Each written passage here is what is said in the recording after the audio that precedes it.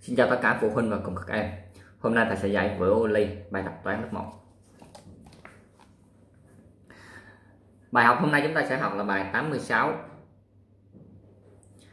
Vẽ đoạn thẳng có độ dài cho trước. Bài số 1 vẽ đoạn thẳng có độ dài AB là 5cm Rồi trước tiên chúng ta chấm ra một cái. À, Chúng ta ghi điểm A. À. Rồi chúng ta lấy cây thước à, cái thước này nhiều em là để sai để như thế này là sai này. Nè chúng ta phải xịt vô ngay chỗ số 0 này này nó sẽ trùng với chỗ điểm A. Được chưa? Rồi. 5 cm đây. Số 5 đây. À, chúng ta chấm này một cái. Rồi chúng ta kéo lại. Chúng ta giữ kỹ cái thước nha. À đó. A B này là 5 cm rồi CD chúng ta chấm một ờ, một cái rồi chúng ta ghi chữ C. À, chữ C trước nha. Rồi cũng tương tự vậy. Để như thế này đừng có để như thế này sai nha. Để như thế này. Đó. 6 cm đây số 6 đây.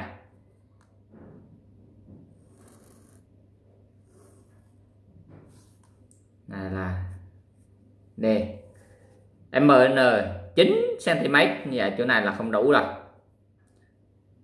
Đây. Cán chân nó nằm đây nè. Được này yeah. anh ta xịt cho nó này m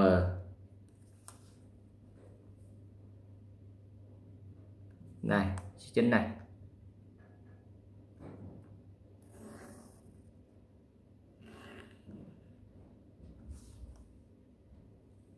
nằm đậm lên tí.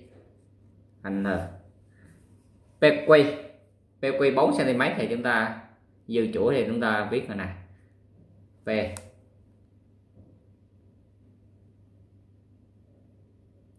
Q. 4 cm đây, số 4 này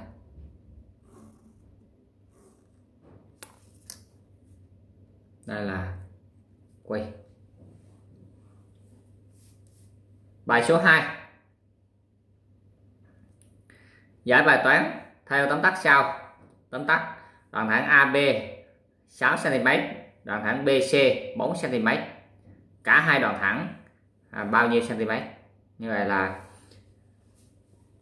giải số cm cả hai đoạn thẳng dài là à, chúng ta dựa vào cái cuối cùng này cái cao cuối cùng này. Số cm cả hai đoạn thẳng dài là số cm cả hai đoạn. Chỗ này à, ít chỗ quá thì chúng ta sẽ đơn giản bớt à, số cm cả hai đoạn dài là à, đơn giản bớt đi cho nó đủ. Rồi như vậy thì cả hai đoạn thì chúng ta cộng lại 6 ta cộng cho 4 là bằng 10 cm. Đóng mặt lại đáp số. 10 cm nó qua bài số 3 giải bài toán theo tóm tắt bằng hình vẽ sau. Cái này người ta tóm tắt bằng hình vẽ.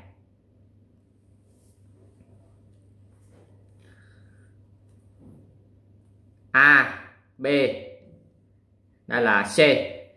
AB thì là 4 cm à, đây từ đây tới đây là 4 cm BC là 6 cm đây là 6 cm đây là một từ đây tới đây một ô này người ta cho là 1 cm như là 1 2 3 4 ô. 4 ô là 4 cm 1 2 3 4 5 6 6 ô thì là 6 cm người ta hỏi là cái đoạn thẳng này à, AC này là dài bao nhiêu cm như vậy là chúng ta ghi là đoạn thẳng AC dài là.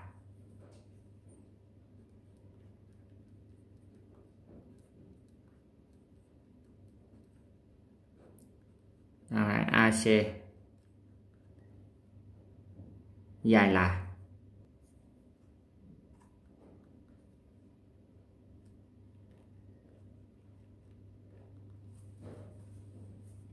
Là ta lấy 4 ta cộng cho 6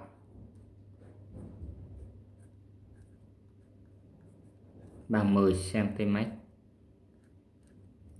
đáp số.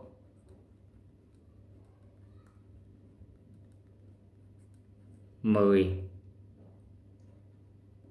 cm bài học hôm nay chúng ta kết thúc tại đây. Các em nhớ đăng ký kênh của thầy để nhận được những bài học mới tiếp theo nhé. Xin chào các em các em muốn à, tìm bài học đề thi để kiểm tra thì dưới bất kỳ clip nào của thầy có các phần mô tả trong phần mô tả thầy có để sẵn cái đường link của blog.